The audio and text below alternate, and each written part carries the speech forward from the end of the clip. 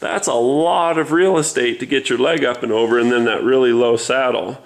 So pu push starting this is a nightmare. So you really want something like this. Just jump start yourself.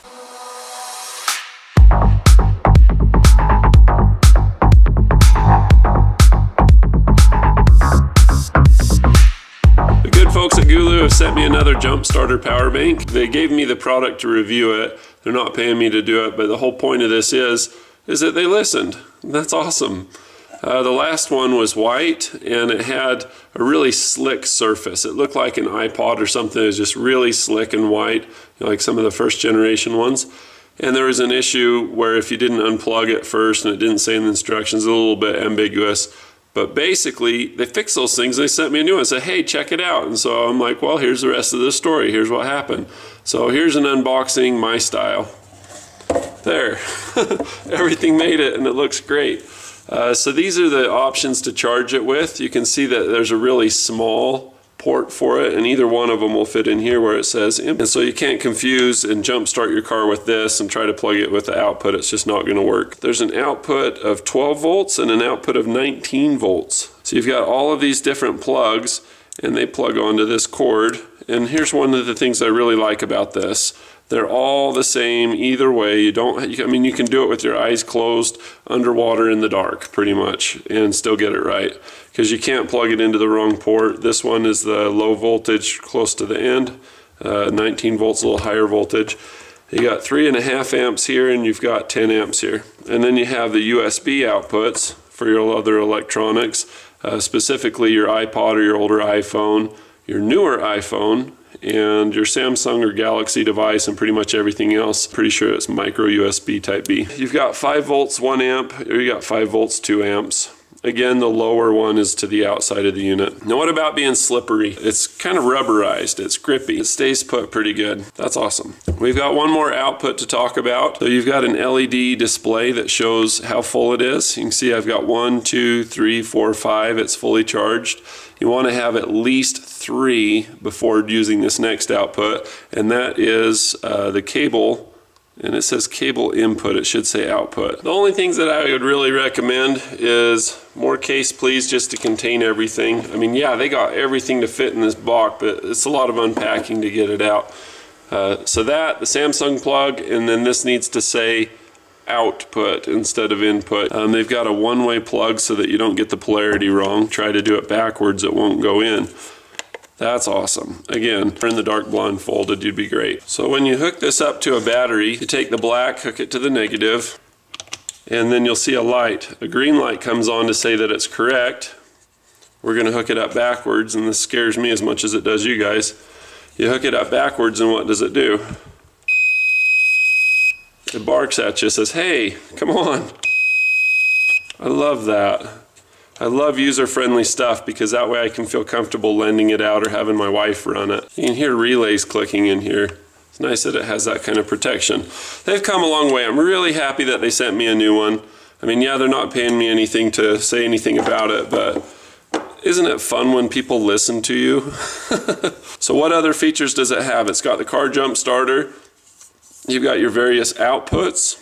Um, you'd notice this button here it's got a little flashlight or light bulb on it. Battery capacity 15,000 milliamp hours. That's awesome. Let's try the flashlight. So the way that the flashlight goes, push it once, it's on steady.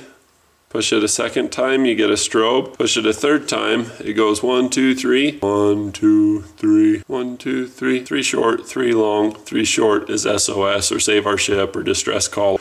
So you can just set that out there and most everybody uh, you know that flies aircraft or watercraft or whatever what the SOS is and you've got it on there. You could use it if you're out hiking or whatever. It's nice to have something that can do an SOS ongoing for you. It's got a long life battery and a low draw LED so I can see that being something helpful. That's cool. Useful feature. So you've got your flashlight. Everybody knows what a flashlight's for. Now what about this guy? Now if you couple the non-slip surface with that flashlight. Say you've got a problem. I had a problem with my truck one time where my battery went dead. My alternator had always been fine, no big deal. And then something happened with a relay, some electronic problem, and my car basically went dead. My truck went dead on the side of the freeway. I didn't have any way, no power whatsoever. And I didn't have anything to really mark or indicate to the traffic oncoming in the freeway that there's something wrong. That's where this and the non-slip surface comes in handy. What am I going to do with this thing? I I love having something like this on hand and it, it meets my needs. It's exactly what I was looking for. They asked me if they could send me this and I'm just like, heck yeah, I could totally use that. Let me show you how I'm putting this to use. Look how effective that is. I mean, I've got a lot of bright lights on. I've got the wall mount light, I've got a shop light, I've got all that shining at you, and you can still see that just fine. Uh, vehicles are going to see that farther down the highway than just a hazard light or something like that and be able to move over and give you some space. And people can do that because they have more warning. They can see it further out. All right, so I've got this motorcycle draining on the battery for quite some time. You go to start it now and here's what you get. I'm holding the button down the whole time. It's just not going. It's just a click.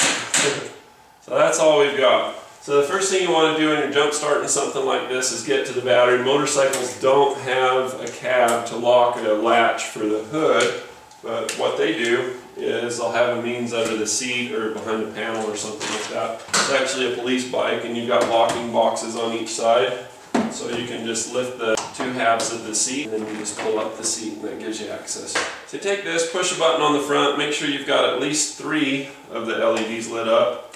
You open the side case like this, plug it in the only way it knows how, and then red goes to positive. Verify that look on the battery and really make sure, uh, but if you get it wrong, it's going to protect you. So I've got a green light, push the boost button, wait 30 seconds. I Hear the relay, by the way, kicking on and off as it doesn't want to get too hot. This is the best way for your battery is to just give it a little bit of time. An automatic battery charger will do the same thing and basically what it's doing is making sure that you don't overheat anything with the battery or the terminals. So that's probably good enough. This hasn't been very much time, it's not going to be a long video, but now we turn this on.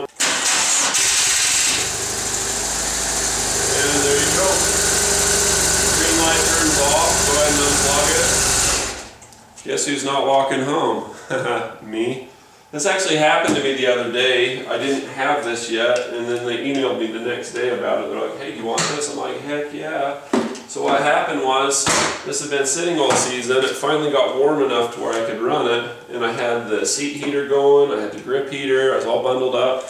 I drove seven miles to the post office. I live in the middle of nowhere. Um, get to the post office, check my P.O. box, come out, go to start it, and it's dead. I mean, just so, so dead. The good thing about these bikes, is they got these big fairings and the engines right here, so that you've got warm air on your ankles and your feet. The wind's blocked from the side, and it's just really comfortable in cold weather to ride. And you got these boxes to haul stuff with, that's great.